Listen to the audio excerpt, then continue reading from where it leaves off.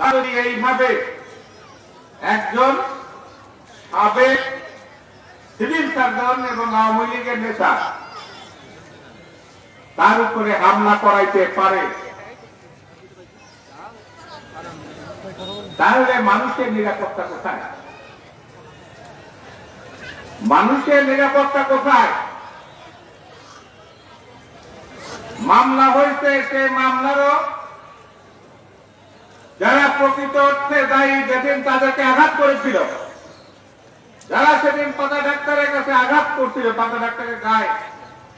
আমরা ভিডিও দেখেছি, পাতা ডাক্তারের মানত মানুষের গায়ে লাগতে মারত এরা ওই হাবাসপুরের টরপাড়ার বঙ্গবন্ধু এবারে এক আশরাফ নামে এক ছেলে, যে পাতা ডাক্তার পেশাব করে দিলে ভাইকে চলে যাবে।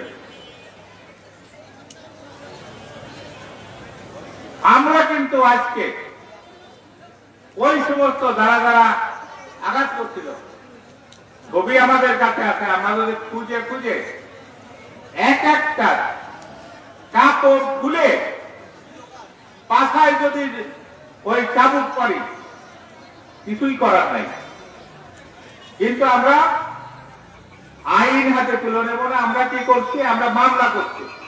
সেই মামলায় যারা আজকে পাতা ডাক্তারের গায়ে হাত দিচ্ছিল এই আওয়ামী লীগের আমলে যারা বঙ্গবন্ধুর ভাস্কর্য ভাঙার প্রতিবাদে যেখানে সভা হচ্ছিল, সেই প্রতিবাদ সভায় যারা পাতা ডাক্তারের উপরে হামলা করতে পারে, যারা আওয়ামী লীগের লোকজনের উপরে হামলা করতে পারে, তারা কি মানুষ? তারা অমানুষ। তাদের আপনারা চিনে রাখবেন। ওরা ওরা চেহারা পরিবর্তন করে আসে এখন প্রচার করতেছে যে এমপি সাহেবের সাথে। আমাদের মীমাংসা হয়ে গেছে। আরে এমপি সাহেবের সাথে কি মীমাংসা? এমপি সাহেবের পাও ধরে মাপতে আমি পাও খুঁজে পাবি না এমপি সাহেবের পাও খুঁজে পাবি না। কাজে ওরা যতই ভোল পাল্টায় আসুক, চেহারা পাল্টায় আসুক, ওরা সমাজের কীট, সমাজের সবচেয়ে ঘৃণিত ব্যক্তি, তাদের কোনোদিনও মাপ নাই, তাদের কোনোদিনও মাপ নাই। তারা মাপ পাবে না। এখন আমার কাছে মাপ চাইলে যে পাতা ডাক্তারের মতো লোকে পাতা ডাক্তারের কাছে তো পিস্তল ছিল। আমি বললাম যে আপনি পিস্তলটা বাইর করে গুলি করলেন না আমি ওদের তো থাকতাম না। আমি সাথে সাথে আমার গায়ে আঘাত করার আগে আমি গুলি করে দিতাম।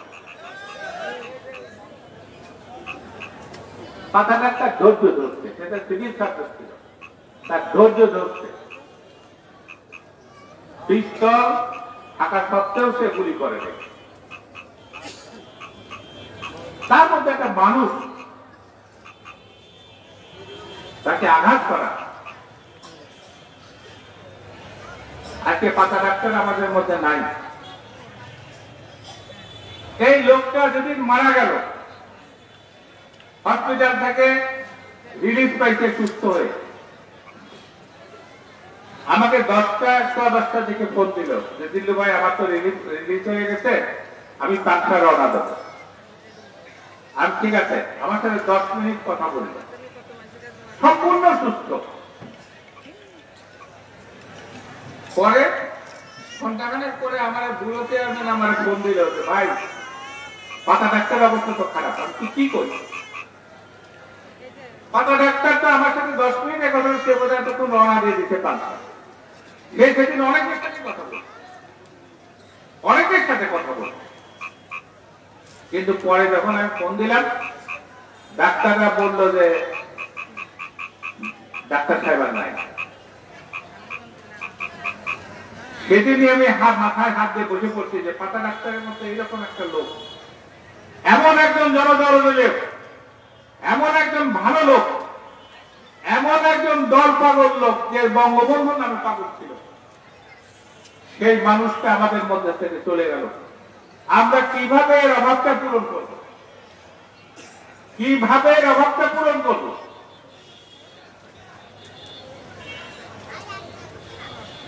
খোঁজ নেওয়ার জন্য সে দলের খোঁজ নেওয়ার জন্য, মানুষের খোঁজ নেওয়ার জন্য। সেই সময় নানান ভাবে আমাদের দলের লোকজনদের উপরে মামলা দিয়ে মিথ্যা মামলা দিয়ে তাদেরকে নাজেহাল করার জন্য যে ষড়যন্ত্র হয়েছিল, ওই সময় পাতা ডাক্তার কিন্তু। এই মানুষের পাশে দাঁড়ায় যেভাবে এই অবস্থাটা মোকাবেলা করছে, চিন্তা করা যায়। চিন্তা করা যায় না। এবং আজকে আজকে স্মরণ সময় আপনাদের উপস্থিতি কিন্তু প্রমাণ করে যে পাতা ডাক্তারের প্রতি আপনাদের কি দরদ পাতা ডাক্তারের প্রতি আপনাদের কি মমতা? এবং পাতা ডাক্তারের জন্য আপনাদের যে আকুতি, এইটা কিন্তু এটা কিন্তু আজকে তার পরিবার, আজকে তার পরিবারের সদস্যরা এখানে আসছে।